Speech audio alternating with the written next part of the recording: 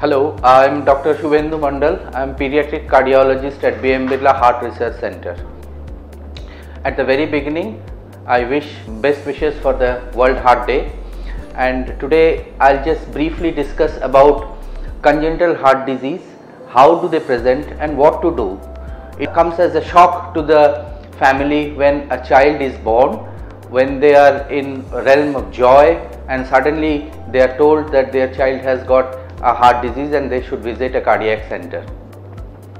Now what is congenital heart disease? It is basically a developmental defect which starts in utero when the mother is pregnant and during the development of the heart there are some defects which present when the child is being born.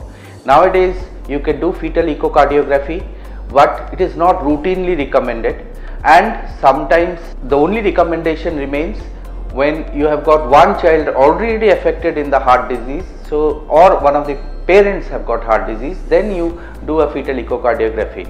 Otherwise it is not routinely done. However when the heart is being developed these defects can be minor or major. For that just briefly I must tell you that heart has got four chambers two atrium, two ventricle and two great vessels which come out from the heart, the pulmonary artery and aorta. This is basic understanding and during development there can be minor defects like holes in the top chamber which is called ASD which or a small hole or holes in the lower chamber which is called ventricular septal defect and sometimes a connection between two great arteries which is called PDA. These are very common uh, defects which accounts for 30 to 40 percent of the cases.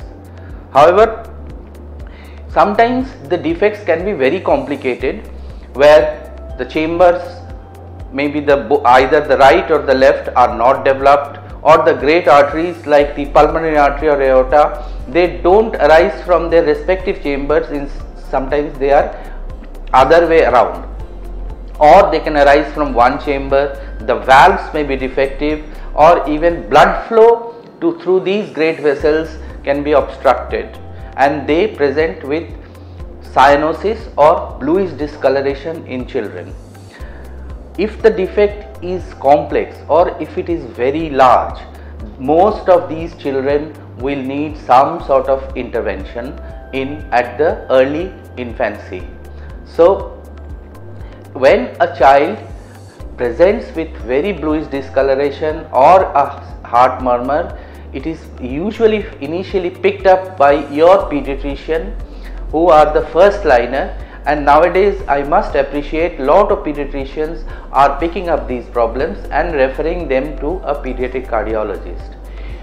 Please do not neglect if your child has got some sort of suspicion of congenital heart disease do attend a pediatric cardiologist in any well known cardiac centers and so that the planning of management whether he, the child needs surgery or whether the child needs some sort of intervention or some follow up can be planned by the cardiologist. So my good wishes for the World Heart Day to keep your child checked up by a pediatric cardiologist in cases of suspicion or even in sometimes if the child is not growing well, child is sweating, uh, having respiratory uh, distress or having repeated chest, chest infection, you have a freedom to contact a pediatric cardiologist and get it checked and make have a peace of mind that your child is not suffering from any serious heart disease. Thank you and best wishes.